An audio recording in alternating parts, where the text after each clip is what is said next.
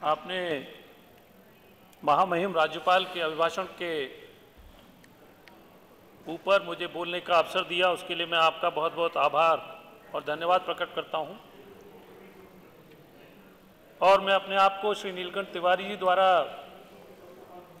इस प्रस्ताव पर और श्री नीरज बोरा जी द्वारा उसके समर्थन में दिए गए वक्तव्य से अपने आप को संबद्ध कर अपनी बात को आगे जारी रखता हूँ। अधिष्ठाता महोदय,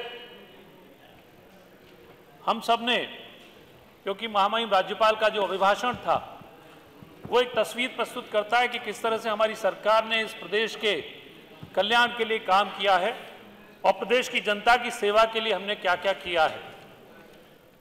हम सबने एक, लोक कल्याणकारी सरकार का जो परिकल्पना होती है उसके बारे में सुना था। और हमने राम राज्य की परिकल्पना के बारे में भी सुना था। लेकिन उत्तर प्रदेश में जो सरकारें इससे पहले हुई, जो इससे पहले सरकारें आई, उन्होंने उस परिकल्पना के आसपास भी पहुँचने का काम नहीं किया। और सच पूछें तो उस परिकल्पना को ध्वस्त करने का काम किया। विष्णु धर्म सूत्र में एक श्लोक है। प्रजा सुखे सुखम राज्यम प्रजानाम च हिते हितम। नात्म प्रतम हितम राज्य प्रजानाम तु प्रियम हितम। यानी कि प्रजा के हित में ही राजा का हित होता है और राजा के हित में प्रजा का हित होता है। और राजा एक पुत्रवत अपनी सरकार की सेवा करता है और प्रजा भी राजा को पितृवत मानते हुए सारे अधिकार उसको सौंप देती है। मैं ये श्लोक इसलिए पढ़ा क्योंकि इस प्रदेश में प्रजा के साथ बहुत अन्याय हुआ। हमारी सरकार से पहले इस प्रदेश में जो अन्याय हुआ, जो पक्षपातपूर्ण व्यवहार हुआ जनता के साथ, वो किसी से छिपा नहीं है। इस प्रदेश में सिर्फ़ पाँच ज़िले हुआ करते थे। बिजली मिलेगी तो उन पाँच जिलों को मिलेगी, सरकारी नौकरी मिलेगी तो उन पाँच जिलों को मिलेगी, और जो भी सुविधाएँ मिलेंगी, सफ़ाई में एम्स बनेगा और तो और सरकार के पैसे पर ला करके जो नृत्य के कार्यक्रम होंगे, वो भी सैफई में और उन पाँच जिलों में होंगे। ये जो दुर्भाग्यपूर्ण जो दुर्भाग्यपूर्ण जो दुर्भाग्यपूर्ण व्यवहार और पक्षपातपूर्ण काम इस प्रदेश की जनता के साथ हुआ, और एक प्रचलन में था, मैं और मेरा भाई हजाम खलीफा नाई और पूरे प्रदेश की सारी दौलत हम सबके घर में आई। 2014 से 2017 का जो कालखंड है, वो इस प्रदेश में ब्लैक पीरियड के नाम से जाना जाना चाहिए। आज हम डबल इंजन की सरकार की बात करते हैं, अधिष्ठाता महोदय, लेकिन वो समय था ऐसा था कि पूरा देश तो माननीय मोदी जी की योजनाओं का लाभ उठा रहा था, लेकिन हमारे प्रदेश में उन योजनाओं को ध्वस्त किया जा रहा था। वो लाभ जो इस प्रदेश की जनता के पास आना चाहिए था, राजनीतिक कारणों से इस प्रदेश को इस लाभ से वंचित किया गया। इसीलिए आज ये 50 वर्ष के बाद ऐसा अवसर आया कि इस प्रदेश में कोई मुख्यमंत्री को जनता ने दोबारा रिपीट किया है। इसीलिए ये सबक इन विपक्ष की पार्टियों को सीखना चाहिए कि आपको जनता जो पाँच वर्ष के लिए जनादेश देती है, आपको पितृवत जो सम्मान देती है, अगर आप पुत्रवत उस जनता की सेवा नहीं करेंगे तो वो जनता आपको नकारने का अधिकार भी रखती है। महोदय, आज जो हमारी सरकार है, वो सुरक्षा, सुशासन और विकास की राजनीति करती है। हम लोग सबका साथ, सबका विकास और सबका विश्वास, सबका प्रयास इस नीति के साथ काम करते हैं। आज हमारे प्रदेश में अपराध के प्रति ज़ीरो टॉलरेंस की पॉलिसी है। अभी जो अपराध के आंकड़े दिए गए हैं, हमारे माननीय राज्यपाल जी के अभिभाषण में, वो भी पूरी पिक्चर प्रस्तुत नहीं करते, क्योंकि उन अपराधों में वो अपराध शामिल नहीं थे। जब इनके कार्यकाल में एक लाला के सामने सामान खरीदा जाता था और उसको बंदूक दिखा करके, कट्टा दिखा करके कहा जाता था कि तू पैसे भी लेगा क्या?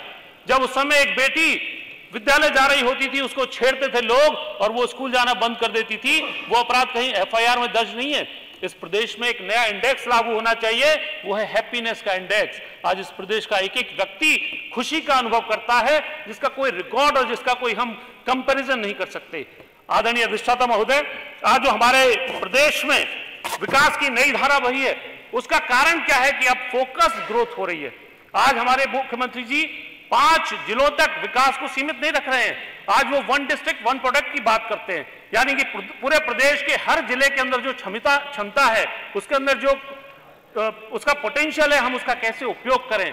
आज one district, one medical college की बात होती है। यानी कि कुछ जिलों में मेडिकल कॉलेज ना बने, हर ज़िले में मेडिकल कॉलेज बनना चाहिए। मैं बुलंदशहर जनपद से आता हूँ। एनसीआर के पास है, लेकिन अगर कोई मरीज़ बीमार होता है तो हमको दिल्ली और नोएडा के लिए रेफर करना पड़ता था। आज बुलंदशहर में हमारे श्रद्धेय नेता बाबूजी कल्याण सिंह जी के नाम से मेडिकल कॉलेज बनाया जा रहा है। आज उत्तर प्रदेश में एक मंडल, एक यूनिवर्सिटी, यानी कि one district, one product one district, one medical college, one मंडल, वन यूनिवर्सिटी, आज पूरे प्रदेश के कोने कोने में विकास की धारा को बहाया जा रहा है। आज हमारे मुख्यमंत्री जी ने जो प्रदेश में काम किया है, वो ये दिखाता है कि हम अगर मेहनत करें तो पूरे प्रदेश का विकास हो सकता है। आज मैं कहूँगा अपने मुख्यमंत्री जी के लिए, उन्होंने सिद्ध कर दिया है कि उद्यमे नहीं सिद्धंती कार्याणी न मनोरथ नहीं सुप्त से सिंह से प्रविशंति मुखे मृगा आप मेहनत करिए, जनता आपको प्यार करेगी और प्रदेश का विकास होगा। आज मुख्यमंत्री जी के विशेष प्रयास के कारण यूपी देश के ग्रोथ इंजन के रूप में डेवलप हो रहा है। आज पूरे प्रदेश की पूरे देश की जीडीपी का 16 प्रतिशत उत्तर प्रदेश से आता है। अधिष्ठाता महोदय, जो पाँच ट्रिलियन डॉलर इकोनॉमी की हम बात करते हैं, उसमें से एक ट्रिलियन डॉलर हम अपने उत्तर प्रदेश से कंट्रीब्यूट करना चाहते हैं। ये इसीलिए संभव हो पाया है कि आज मुख्यमंत्री जी ने और हमारी सरकार ने अथक मेहनत करके इस उत्तर प्रदेश को इन्वेस्टर फ्रेंडली बनाया है। आज हमारी 25 पॉलिसीज़ को ट्रांसफॉर्म किया गया है। उनको इको फ्रेंडली बनाया गया है, उनको यूज़र फ्रेंडली बनाया गया है, उनको इन्वेस्टर फ्रेंडली बनाया गया है और इन सबसे बढ़कर उनको यूपी फ्रेंडली बनाया गया है।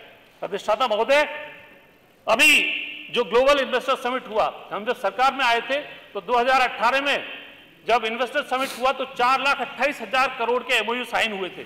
और मुझे याद है, उस साल हमारा बजट भी चार लाख अट्ठाईस हज़ार करोड़ का था।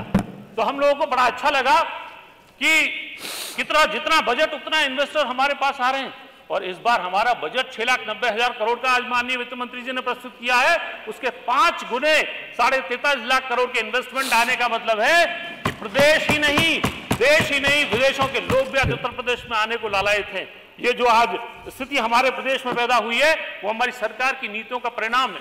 महामहिम राज्यपाल ने चलिए धन्यवाद संजय जी। महोदय दो मिनट और लूँगा। समाप्त करें। समय समय पे अब सभी लोग समाप्त करें। डिफेंस कॉरिडोर छह नोट से अधिष्ठाता महोदय पूरे उत्तर प्रदेश में छह नोट्स में इस समय एक single piece of land available नहीं है और उसमें कोई भी लैंड किसी भी ऐसे व्यक्ति को नहीं दी गई जो डिफेंस के क्षेत्र में काम न करता हो। ये इस बात का परिचायक है क्या जो उत्तर प्रदेश प्रगति की विकास पर आगे बढ़ रहा है। मैं अपने माननीय मुख्यमंत्री जी को इस बात के लिए धन्यवाद देता हूँ। समय क्योंकि आपने बहुत हमें आ, कम दिया है। मैं अपने क्षेत्र की भी दो तीन विषयों को क्योंकि रखना चाहूँगा। आज आपने अवसर दिया है तो महोदय मेरे क्षेत्र में एक चीनी मिल है जो लगभग 45 वर्ष पुराना है। इस बार की कोऑपरेटिव शुगर मिल में वो पहले नंबर पर काम कर रहा है। इतना पुराना चीनी मिल जिसने रिकवरी और सब सारे रिकॉर्ड तोड़े हैं। तो मेरा आपके माध्यम से अनुरोध है कि उस चीनी मिल की क्षमता वृद्धि की जाए। दूसरा, मेरे यहाँ आहार और पर गंगा नदी की पुल की बहुत आवश्यकता है। आहार बहुत ऐतिहासिक और पौराणिक स्थान है और वहाँ आए दिन दुर्घटनाएँ होती हैं गंगा नदी में डूबने के कारण। वहाँ कच्चा पीपो का पुल है जो लगभग 40 वर्षों से बनता आ रहा है, लेकिन वहाँ एक पक्के पुल के निर्माण की भी आवश्यकता है। एक अधिष्ठाता महोदय, मेरे क्षेत्र में एक लखावटी ब्लॉक है और उसके करीब 50 गाँव ऐसे हैं जिनको 40 से 50 किलोमीटर घूम करके जाना पड़ता है। अगर वहाँ एक नहर की पटरी है, उसको बना दिया जाए तो 10 किलोमीटर के अंदर ही वो अपने ब्लॉक में पहुँच सकते हैं, जो बहुत बड़ी सुविधा हमारे क्षेत्र के लोगों को होगी। मैं आज अपने आपके माध्यम से अपने प्रदेश के मुखिया, आदरणीय मुख्यमंत्री जी को, हमारी सरकार को बधाई देता हूँ। और महामहिम राज्यपाल ने जो अपनी सरकार के बारे में चित्र प्रस्तुत किया है उसका पूरी तरह से समर्थन करता हूँ। और साथ ही हमारे देश के यशस्वी प्रधानमंत्री जो एक सूर्य की तरह जैसे सूर्य सभी ग्रहों को ऊर्जा देता है वो सारे प्रदेश को ऊर्जा दे करके इस तरह से हमारे देश को आगे लेकर जा रहे हैं। मैं उनको भी कोटि कोटि बधाई देते हुए अपनी बात को समाप्त करता हूँ। जय हिंद जय भारत।